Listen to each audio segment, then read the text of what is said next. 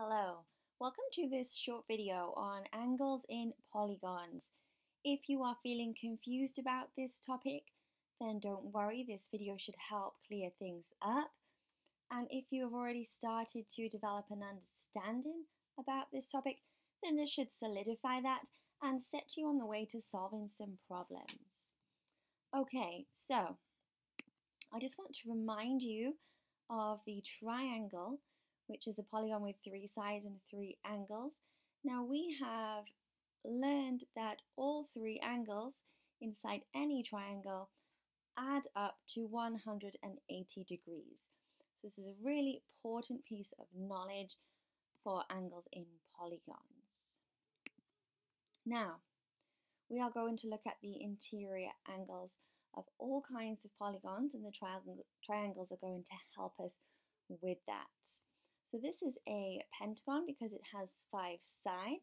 But let's just take a look at a bunch of polygons. So here we have five different polygons that are all cut up into triangles. Now look closely because the triangles all share the interior angles with the polygon. So every angle that's in the triangle is also part of the polygon's interior angles, as you can see here. Now look even more closely at the number of triangles in each shape. So a quadrilateral, which has four sides, can be cut into two triangles. A pentagon, which has five sides, is cut into three. A hexagon that has six sides is cut into four and so on. Hopefully you can see that the relationship here is that the number of triangles is always 2 less than the number of sides. Okay, so back to this pentagon. Um, and a rule that we, or a relationship that we've established, is to find the sum of interior angles of any polygon then you reduce the number of sides by 2 and you multiply by 180.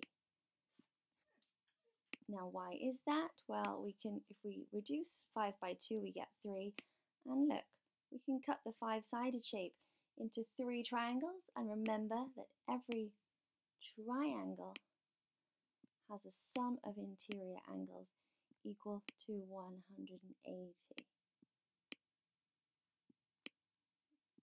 So that would be 3 multiplied by 180, which would give us our sum of interior angles, which is 540 in this case. Now this rule or relationship that's written here as a sentence can be written more concisely as a formula, and that formula is here. So the sum of interior angles is n minus 2 multiplied by 180, where n stands for the number of sides in that polygon. Okay, let's use this formula to solve problems now. This is our first question. Find the sum of interior angles of a 22-sided shape. Right, so a polygon that has 22 sides. Now, the first thing you want to do is write down the formula, n minus 2 times 180 then you want to substitute n for the number of sides. So here we know the number of sides is 22, so I just replace n with 22 to give me this line. I then start to make the calculation. 22 minus 2 gives me 20, so I multiply that by 180, and here I have my total, 3,600. So my final answer is that the sum of interior angles of a 22-sided shape is 3,600 degrees.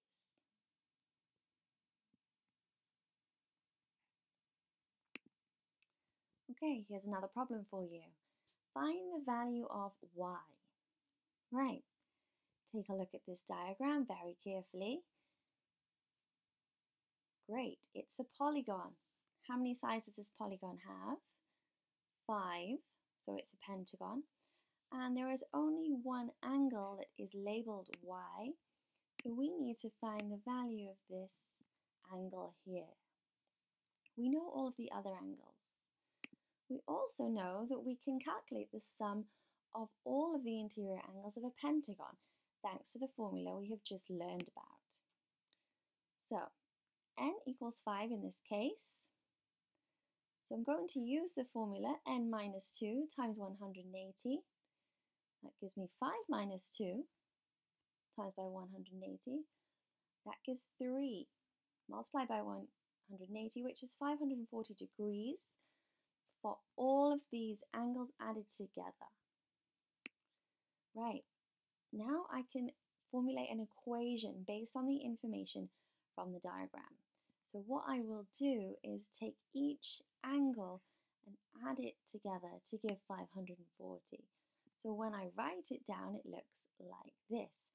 90, because this symbol here tells me it's a right angle, which is 90 degrees, plus 135, plus 112, plus 88, plus y is 540.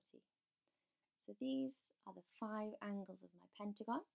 I can simplify this equation on the left-hand side by adding all of the like terms, which are the numbers. So if I add all the numbers, I get 525 plus y equals 540. Now this is a simple linear equation.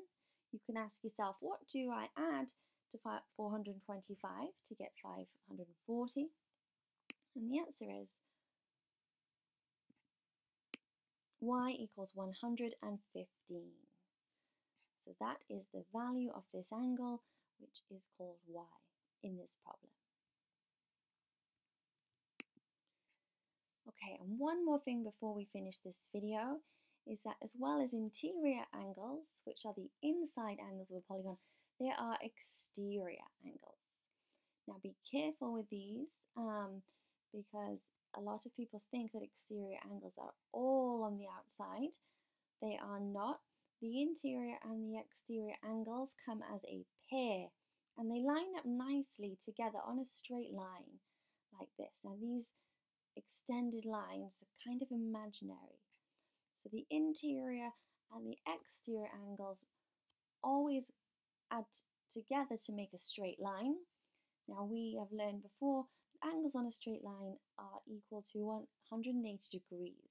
So the rule for interior and exterior angles is that the interior angle plus the exterior angle is equal to 180 degrees. Okay, thank you.